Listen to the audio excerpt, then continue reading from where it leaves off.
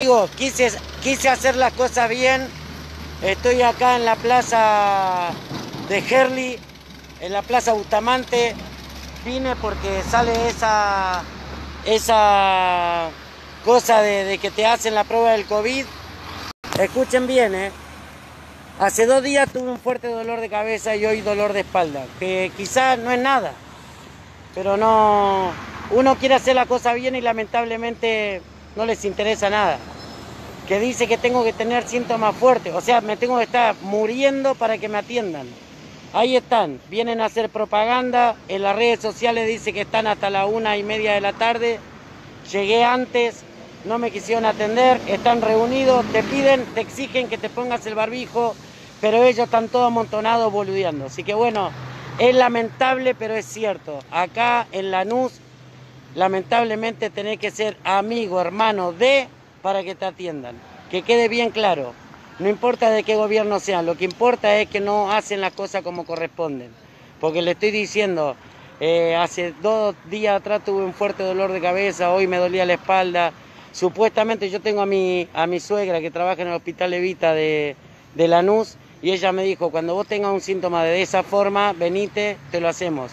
Yo trato de no ir al hospital, ¿sabe por qué? Porque hay gente que está contagiada y que de repente uno trata de evitarlo. Vine hasta acá, no te atienden, no les importa, porque ni siquiera te prestan atención. Tenés que, lamentablemente, morirte en tu casa. Es así esto, ¿eh? te tenés que morir en tu casa. No lo intentes de ir a, a hacer la prueba del test porque no te la van a hacer. Así te duela la espalda, así te duela la cabeza, así tengas fiebre, te tenés que cagar muriendo. Perdónenme la presión, pero es así. Lamentablemente, la gente que está ahí, lo único que hacen es pantalla, solamente pantalla, no vienen a ayudar a la gente. La plaza está vacía, miren, la plaza está vacía y no ayudan a nadie. Es una gran mentira lo que están haciendo. Pasean con el carro y boludean, nada más. No están ayudando a nadie. Yo vine a hacerme la prueba por las dudas, porque yo le acabo de explicar que estoy ayudando a 48 comedores, merenderos y ollas populares y que me estoy arriesgando todos los días para qué, para que la gente tenga un plato de comida. ¿Sabe lo que me dijo? No, tenés que tener síntomas graves, si no, no te van a hacer el hisopado ni acá ni en ningún lado. Imagínense, ¿eh? imagínense cómo son las cosas, ¿eh? es lamentable, es lamentable. Pareciera que uno no tiene derecho a pedirle nada a nadie, ¿me entienden? Lamentablemente.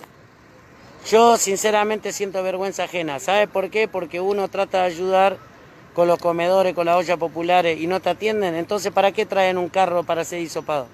¿Para sacarse la foto e irse a la casa? No es así, muchachos. Pero bueno, solamente se los comento para que lo compartan, para que sepan cuál es la realidad. ¿Me entienden?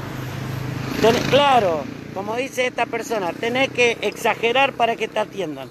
Lamentable pero cierto.